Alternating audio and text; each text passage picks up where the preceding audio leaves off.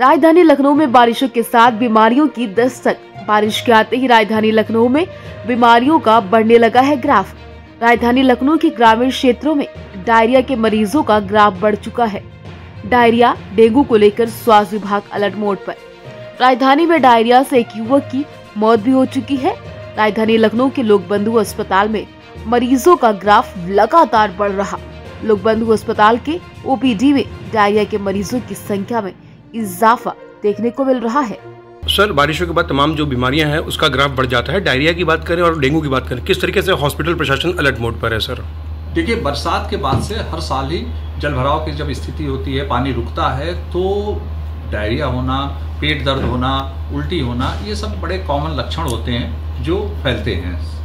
उसके लिए हम लोग अलर्ट हैं सारी दवाएँ प्रचुर मात्रा में हैं और डेंगू की बात है अभी तक कोई ऐसा केस आया नहीं है लेकिन हमारे पैथोलॉजी में सारे लोग तैयार हैं ब्लड टेस्ट के लिए भी और अगर बुखार का कोई भी मरीज़ आएगा तो हम उसको पूरा फीवर प्रोफ़ाइल बनाते हैं। फीवर प्रोफ़ाइल में डेंगू का भी टेस्ट होता है। अगर डेंगू आने लगेगा तो उसके लिए हम लोग का पूरा तैयार है। दवाएँ और सब चीज़ें पूरी तरीके से तैयार हैं। डायरिया के मरीजों की संख्या की बात करें कितना ग्राफ बढ़ा है सर बारिशों के बाद? निश्चित रूप से इस समय 15 से 20 प्रतिशत बच्चे विशेष रूप से आ रहे हैं जो ओपीडी में दिखा रहे हैं। और ओपीडी के ही इलाज से वो ठीक होकर वापस जा रहे हैं। पिछले 24 घंटे में हमारे यहाँ चार मरीज़ जो है एडल्ट में वो भर्ती हुए हैं जो डायरिया डिसेंट्री के मरीज़ थे और उनको उल्टी भी हो रही थी उससे वो ठीक हैं। इस समय मतलब प, प, कल भर्ती हुए हैं। आज उनकी स्थिति बहुत ही बेहतर है। तो इस तरीके से सारी व्यवस्थाएँ हम लोगों ने की रखी सर क्या आप लोगों को जागरूक करना चाहेंगे? क्या करना चाहेंगे? इस बीमारी से कैसे बचा जा सकता है? आने वाली बरसात के जो समय में पानी भरा रहता है जल भराव होता है उससे एक तो पानी अपने इर्द गिर्द न इकट्ठा होने दें, सबकी ज़िम्मेदारी है ये।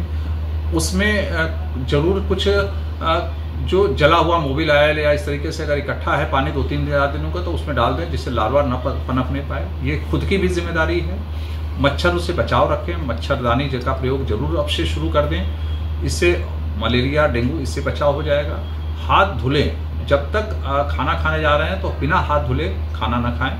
और पानी उबाल के पिए और जल संस्थान से भी और क्लोरीन की मात्रा इस समय बढ़ जानी चाहिए, क्योंकि उससे भी काफ़ी कुछ कंट्रोल रहेगा।